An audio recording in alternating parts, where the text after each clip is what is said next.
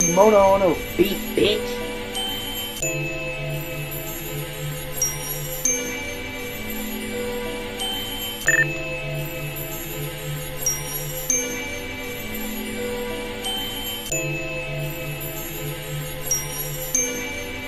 Why didn't you pay for this beat though?